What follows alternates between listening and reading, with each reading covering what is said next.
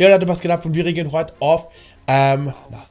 Ja Leute, wir reagieren heute auf Exposed, wie Videogame-Konzerne ihre Spieler aus, äh, ausbeuten, abzocken. Ich bin sehr gespannt bei EA. Ja, ich meine, ist es nichts Unbekanntes, aber wo und wer noch so bei diesen Ausbeuten dabei ist. Ich bin sehr gespannt. Abonniert gerne unseren Channel für mehr Reaction, aber auch gerne für mehr vom Lance und falls ihr Bock habt, auch gerne FIFA. Ähm, lasst gerne ein Abo da und schaut auch gerne auf Instagram und auf TikTok bei. Los geht's. Die Videospielindustrie verdient immer mehr Geld, auch dank immer mehr Ingame-Verkäufen. Ja, Battle Passes, Cosmetics, Lootboxen, Und Items, drei, zwei, Extraleben, Zeitüberspringer, Diamanten, um Gold zu kaufen, um Das ist kein- Splitter zu kaufen, kurz Microtransactions. Die sind leider häufig ziemlich ekelhaft und manipulativ. Viel davon ist lange bekannt, teils wehren sich die Spieler, aber leider wird es insgesamt nicht wirklich besser. Große Teile der Videospielbranche bewegen sich Schritt für Schritt in eine ungesunde, gierige, rücksichtslose und ausbeuterische Richtung. Von einer Industrie, die viel zu wenig reguliert wird, in der man sich für jeden noch so fiesen psychologischen Trick nicht zu schade ist, in der selbst die größten Entwickler Und das geht dann auch schon in Richtung Glücksspiel. Muss man, muss man auch sagen, ich meine, wenn du dir ein Pack äh, oder so oft auf das Pack kaufen drauf drücken kannst und immer wieder ein Pack kaufst, ist das schon so eine Art von Glücksspiel, finde ich zumindest. Also, warum dann ein FIFA ab drei Jahren ist und ich finde, der Ultimate-Modus sollte dann schon ein bisschen was für Ältere sein. Ich meine, man kann sich theoretisch eine gute Mannschaft erspielen. Aber habt ihr euch mal die Preise von der 9 angeguckt? Wer soll sich jemals mit, mit Erspielen einen R9 erspielen können? Ich meine, du kannst doch nicht verlangen, dass sich die Kleinkinder lauter äh, Points kaufen, damit Packs öffnen und dann nur Scheiße ziehen und das ist ein Kreislauf, der nie geschlossen, der, der, das ist ein unendlicher Kreislauf. Erst, boah, dieser Button funktioniert so gut. ihre Seelen an äußerst fragwürdige Geschäftsmodelle verkaufen. Von Spielen, die kaum mehr sind als Dauerwerbeanzeigen, bei denen echter Das ist echt Spielspaß traurig, und ja. die Kunstform an allerletzter Stelle stehen und die einige anfällige Menschen ganz bewusst und strategisch ausnehmen. We know that you put so much of your life into the games we make. Every moment you invest, you feel like you are rewarded and you are given value. Oh my God! Yes! Make sure that your games aren't too skill based. Explore and fight. It's really saying something when a game almost makes EA look ethical. Das sind 57 bis 85 Cent pro Minute. people have spent money on this game and wished on the. I'm sorry. Dieses Video ist in Kooperation mit Game2 entstanden. Trant liefert uns im Folgenden immer Das Traurige dann sogar in Fortnite oder so. Ich meine, du, du kannst ja keinen Vorteil in Fortnite spielen, aber trotzdem auch mit diesen ekelhaften Skins oder auch mit diesen ähm, äh, Ko Kooperationen zwischen Disney und so weiter. Die, die wollen die Skins, diese ganzen zwölfjährigen Kiddies und die kaufen sich das dann Ganze. Das finde ich echt ein bisschen too much. wieder seine Perspektive als erfahrener Gaming-Journalist. Außerdem findet ihr auf dem Kanal seines Teams ein ergänzendes Video zu der Entstehungsgeschichte von Lootboxen. Let's go. Das Video dauert 16 Minuten. Heute sind viele Games erstmal gratis für den Spieler. Vermutlich um den Einstieg zu erleichtern und um auch Menschen anzusprechen, die vielleicht keine 50 bis 70 Euro ausgeben können oder wollen. Entwickler müssen sich ihre Entwicklungskosten dann anders wieder reinholen. Zum Beispiel mit Mikrotransaktionen. Eine Option sind zum Beispiel kaufbare kosmetische Inhalte, wie ein neues Outfit für den eigenen Charakter. Die sind Ist häufig klar. ziemlich okay. Also mir fällt zum Beispiel ähm, das Action-Rollenspiel Path of Exile ein. Äh, das bietet seine kosmetischen Items halt sehr direkt an.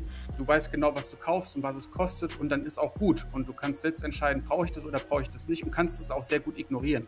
Alle Spieler haben in solchen Fällen weiterhin die gleichen Chancen. Die Käufe sind einfach und klar und das Gameplay wird nicht behindert. Aber häufig machen Mikrotransaktionen Spiele aktiv schlechter. Die Frage ist auch Das ist nicht klar. mehr, okay, wir haben diese Idee, Das dieses ist. Spiel, wie können wir damit Geld verdienen, sondern wie muss mein Spiel designt sein, damit es möglichst viel Geld einbringt. Viel von dem, was jetzt kommt, kennt ihr vielleicht schon aus eigenen Erfahrungen. Aber es lohnt sich, sich die diversen Strategien der Entwickler einmal wirklich vor Augen zu führen. Erstmal verschleiern viele Spiele die tatsächlichen Europreise für Dinge durch Ingame-Währungen. Wenn ich für 4,99 Euro 80 Gems kaufen kann, mit denen ich 14 Splitter kaufen kann und eine neue Frisur für meinen Charakter kostet 3 Splitter, Wie viel kostet der Haarschnitt in Euro? 80 Gems, ja, für 5 Euro. 13 Splitter kriege ich dafür und 6 kostet die Frisur. Keine Ahnung, ich, ich weiß es auch nicht.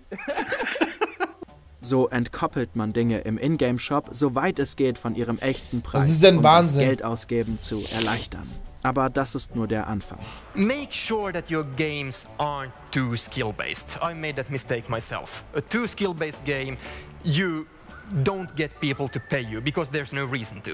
Das ist ein Ausschnitt eines berühmt-berüchtigten Vortrages eines Mobile-Spiele-Entwicklers darüber, wie man, naja, seine Spieler am besten austrickst und ausnimmt.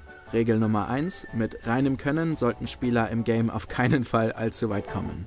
Hier betritt Pay to Win die Bühne. Ist Wer Wahnsinn. extra zahlt, zum Das Beispiel ist für spezielle Wahnsinn. Items, hat einen Vorteil. Das raubt aber vielen schnell den Spaß, wenn man es als Entwickler übertreibt. Pay to Progress ist FIFA. dann häufig effektiver. Am Anfang geht alles ganz schnell im Spiel. Man kommt gut voran, das Dorf wird größer, der Charakter wird stärker. Aber dann, der. Plötzlich geht alles super langsam. Elendige, sich immer wiederholende Aufgaben im Spiel werden immer elendiger. Man muss 30 Minuten warten, bis sich eine Ressource wieder auffüllt, um weiterspielen zu können. Oder man zahlt halt 2 Euro. Und wer einmal damit anfängt, dem fällt jeder weitere Kauf einfacher. Oh ja. Neben undurchschaubaren Wechselkursen setzt man dann absurd hohe Preise für Gegenstände, um zum richtigen Zeitpunkt ein Angebot mit einem deutlich niedrigeren Preis zu machen. Plötzlich sind 15 Euro für irgendeinen Scheiß in einem Handyspiel ein guter Deal, weil Discount? Das nennt man Anchoring. Macht das Angebot noch zeitlich befristet und oh yeah. If there are um, rare cards up here Das ist ein Wahnsinn. and you see see the goblin going with his clocks tick tock, I'll take it away from you. I'll take it away from you. This is a brilliant way to to uh, get more people to to spend more. Dann setzt man Bezahloptionen ganz gezielt, wenn die Frustration am höchsten ist. Die spielen, um die Irrationalität. die spielen regelrecht mit deiner Psyche und das ist halt traurig. Wenn du dir die Spiele von damals anguckst, da wurde so viel Zeit rein investiert und jetzt nur noch Profitgier, wirklich. den Hot State des Spielers auszunutzen. Ach, schon wieder tot. Willst du nicht für nur 138 Gold wiederbelebt werden? Das verleitet natürlich dazu, das eigene Spiel so zu designen, dass es diese Frustrationsmomente immer und immer und immer wieder gibt. Und selbstverständlich nutzen viele Spiele all diese Techniken gleichzeitig. Raid Shadow Legends oder Hogwarts Mystery sind hier Das ist ein Wahnsinn, das Paradebeispiele. ist so Hier die traurig. starken Videos von Ultralativ zu dem Thema. Stattdessen ist es weniger ein Spiel als ein animiertes Uhrwerk, das man mit Geld immer weiter ölen und schneller laufen lassen kann, damit man sich am Wachstum der Zahlen und dem Fortschritt der eigenen Sammlung erfreuen kann. Es ist das Abrufen und Monetarisieren von im Menschen tief verankerten Quellen kurzzeitiger Befriedigung. Und das ist furchtbar schade. Auch im neuen Pokémon Unite gibt es ist- undurchschaubar teure Skins. das ist echt elendig traurig. langsamen Fortschritt, um das eigene Lieblings-Pokémon freizuschalten und Pay to Win. Entweder 498 Tage Spielzeit für ein vollständig ausgerüstetes Pokémon oder 120 Euro. Geil. Siehe dazu dieses Video von Game 2.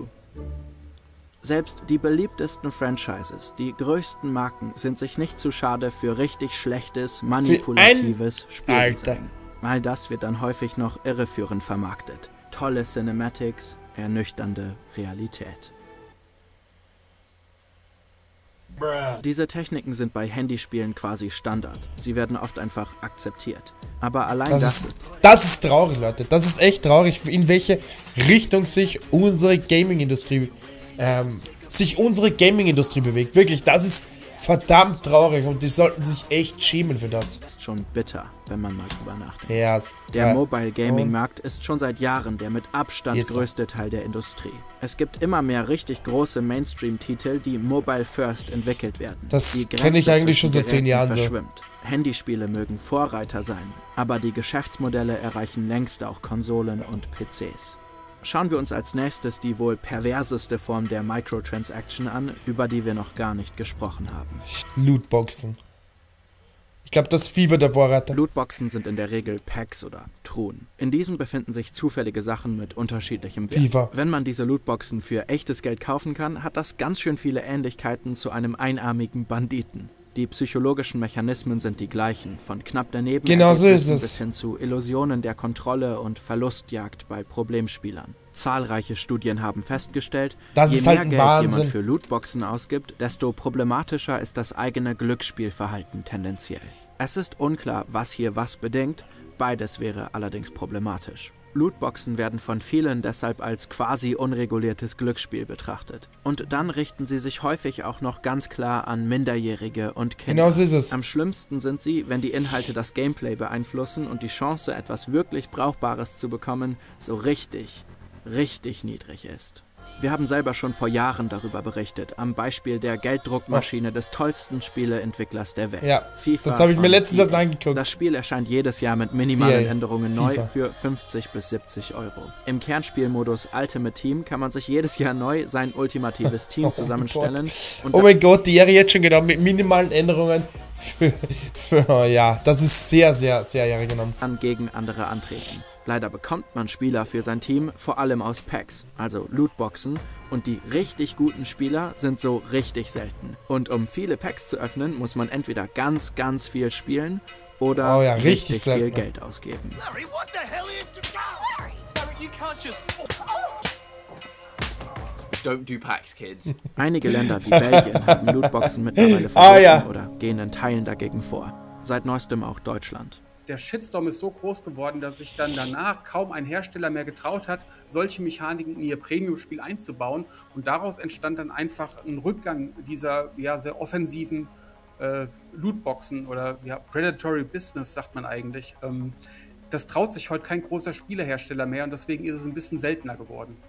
Das ist zwar ein Lichtblick, aber in vielen Teilen der Industrie sind Lootboxen weiter Och, verbreitet denn je. Dazu gehört auch drei Jahre später immer noch FIFA. Aber, aber, es gibt bei Ultimate Team doch neben den regulären Packs jetzt auch sogenannte Preview Denk Packs. ich mir, ja. Dort kann man einmal alle 24 Stunden Genau, sehen, die was im Vorschau-Packs. Pack drin ist, bevor man es Genau. kauft. So it doesn't look like a loot box, right? Um, Und das siehst du, zu 90% ist Scheiße drin. but there's concern that what people are going to be staking money on isn't what's in their current open loot box, but in the one after it. So you're essentially gambling on the next loot box down the line. Das ist Dr. David Sandel, ein führender Wissenschaftler auf dem Gebiet der Videospielmonetarisierung. Ultimate Team ist zwar oberflächlich betrachtet etwas besser geworden, Das ist einfach aber aus das Sicht Spiel mit von der Sandel Psyche. ist es wahrscheinlich nur ein Trick, um Regulierung zu umgehen. Mhm. Denn man wettet immer noch, nur halt auf den folgenden Inhalt, nicht den momentanen. It's really easy to explain to a government how a vanilla player pack corresponds with gambling. These novel preview packs, the mechanism appears like it might be exactly the same, but the explanation is much more hard. Den Modus Ultimate Team gibt es natürlich auch noch in anderen großen Sportspielen von EA. Gemeinsam sind die Ultimate Team Spielmodi verantwortlich für fast 30% des gesamten Umsatzes von EA. FIFA Ultimate Team allein macht nach Schätzungen ca. 16% aus. Sehr überspitzt, wenn man Lootboxen als Glücksspiel betrachtet, 16%. wäre EAs Business zu fast ein Drittel ein Casino. Nice. Wir haben EA mit den Bedenken von Forschern wie Dr. Sendel konfrontiert. Das meine ich ja. Und das dürfen Kinder ab drei spielen. Das dürfen Kinder ab drei Jahren spielen. Obwohl es eigentlich nicht viel mehr als ein Glücksspiel ist. Konfrontiert. EA betont, dass die Gesetzgebung in vielen Ländern zu dem Schluss gekommen ist, dass Lootboxen kein Glücksspiel darstellen, weil man nicht direkt Geld gewinnen kann. Das ist auch die Sichtweise der Firma. EA schreibt zusätzlich, dass es keinen schlussendlichen wissenschaftlichen Konsens gebe, ob Lootboxen wirklich gefährlich sind. EA hat uns außerdem versichert, dass minderjährige FIFA-Spieler im Median nur 37,20 Euro pro Jahr für Ultimate Team ausgeben. Ein anderes Beispiel wäre Genshin Impact. Das ist ein Adventure-Rollenspiel mit Lootbox-Mechaniken, das letztes Jahr ein riesiger Hit war. Der YouTuber Mtest hat rund Was ist das bitte? 1700 Euro verzockt beim Versuch, einen bestimmten Genshin Impact-Charakter zu ziehen. Das hat ihn dazu verleitet, sich öffentlich bei allen seinen Zuschauern zu entschuldigen und komplett aufzuhören, Geld in dem Spiel auszugeben. I do feel guilty about that. I have had a, a tough time sleeping. Hoho, das ist cool. And I think that this system. Aber ich habe schon gehört, es gibt viele Spieler, die, die gerade so gezielt wie, wie, wie äh, FIFA sagen, sie geben keinen Cent mehr aus und probieren einfach von sich aus ein nicht so tolles, aber selbst erspieltes, äh, eine selbst erspielte Mannschaft zu erbauen.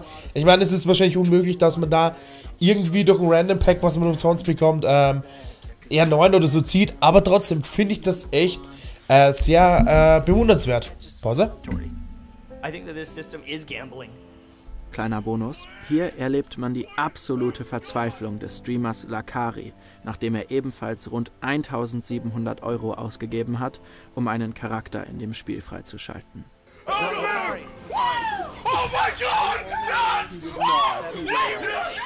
Als es endlich klappt, wandelt sich seine Panik in völlige Ekstase.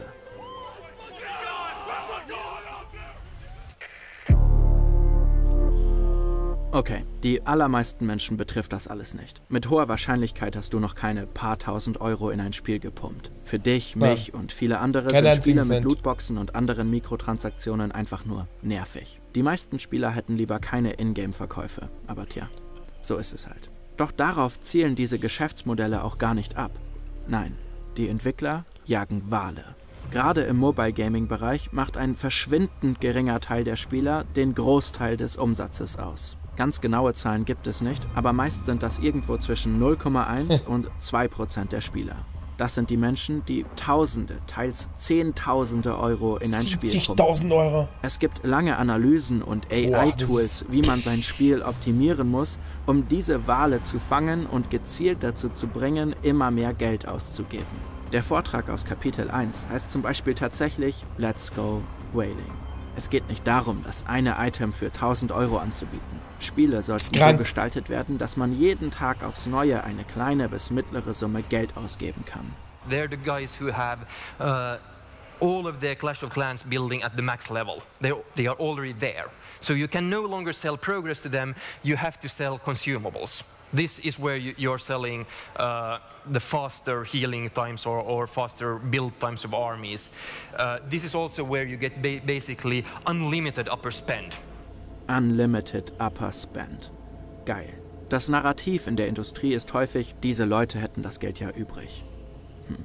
Das sieht die Wissenschaft ganz anders. Spieler, die zum Beispiel viele Lootboxen kaufen, sind nicht reich. Ich glaube auch nicht, dass ein Milliardär ein billiges Handygame für 0 Euro zockt. Das kann ich mir nicht vorstellen. Oder Millionär. Erstens mal hätten sie die Zeit nicht dazu und zweitens mal, warum sollten die Tausende von Euro ausgeben? Die zielen genau auf, auf, ähm, auf solche Menschen, die wahrscheinlich gerade so über die Runden kommen, dann irgendwie nur Free-to-Play-Handygames zocken wollen und dann fett abgezockt werden, weil sie besser werden wollen. Und das ist einfach, die treiben Leute gewollt in Schuldenfallen rein und das ist einfach nur traurig. Es gibt Anzeichen, dass diese Menschen teils schlicht und einfach Problemspieler sind. Menschen mit einer. Glücksspielsucht, die unkontrolliert immer mehr Geld ausgeben, obwohl sie es häufig eigentlich nicht übrig haben. Aber ganz genau weiß man das Oder nicht. Kinder halt. Einfach weil Spieleentwickler ihre Daten so gut wie nie mit Forschern wie Dr. Sendel teilen. Vielleicht aus Angst, was er und andere über die wahre Natur der Wale herausfinden könnten. Natürlich sind nicht alle Spiele so aufgebaut und nicht jeder Entwickler ist derart auf Profite um jeden Preis aus. Viele Next-Gen-Games sind in jeder Hinsicht absolute Meisterwerke. Dazu kommen zahllose tolle Indie-Spiele. Etliche Ubisoft Free-to-Play-Titel ist sind toll umgesetzt und finanzieren sich sehr erfolgreich auf faire Art und Weise.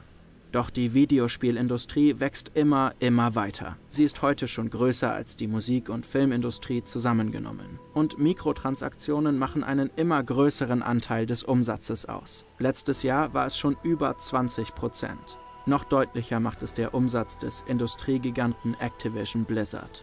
Innerhalb von nur sieben Jahren sind Microtransactions und Abos das Hauptgeschäft des Unternehmens geworden.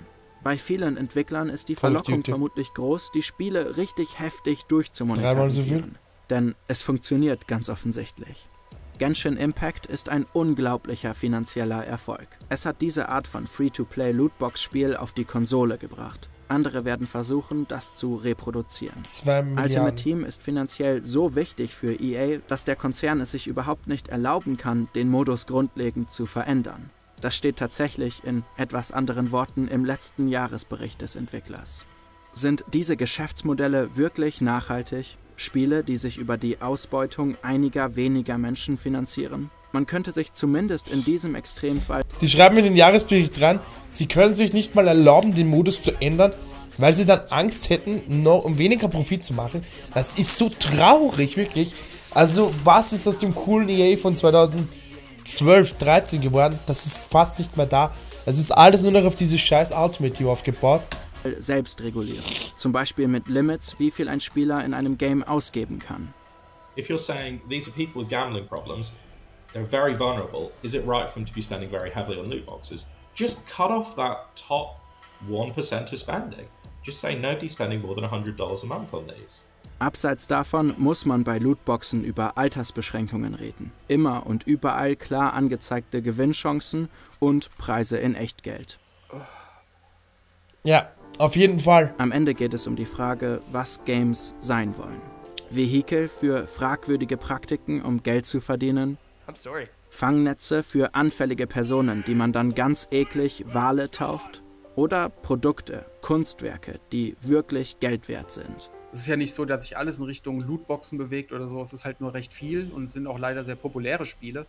Aber ähm, im Grunde kannst du dich ja wirklich überall austoben, kannst ja überall Sachen Ja. finden und bist gar nicht eingeschränkt. Ist ja nicht so, als wäre der Korridor nur aus Lootbox-Games. Ähm, ja.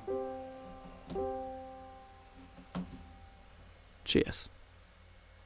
Jeden Fall ein tolles Video und das lässt doch auch ein bisschen nachdenken, in welche Richtung so ein bisschen die Gaming-Industrie, speziell auch EA, Blizzard und so weiter geht.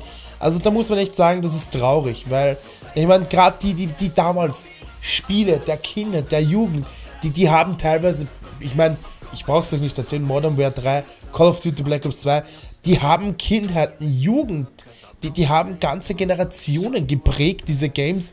Auch, ähm, Yay, ich meine, FIFA 12, 13, das waren die Spiele meiner Jugend, meiner Kindheit und, das waren einfach Traumspiele.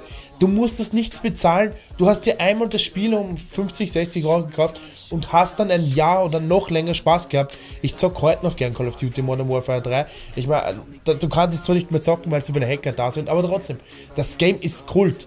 Und man musste damals nichts kaufen, nicht, ja, DLC, vielleicht eine Map oder so, aber ja, brauchtest du nicht. Und was ist eure Meinung zu dem Ganzen? Ich bin sehr gespannt. Abonniert gerne den Channel und schaut auch gerne auf Instagram und TikTok vorbei. Das ist echt traurig, wirklich. Also schämt euch. I want the real stuff Everybody listen up Cause I'll only say it once I'm gonna show you all the path If you want it bad I'm gonna show you where it's Yeah, how you can get it back Yeah, cause I ain't never done I'll be number one Working hella hard until I get just what I want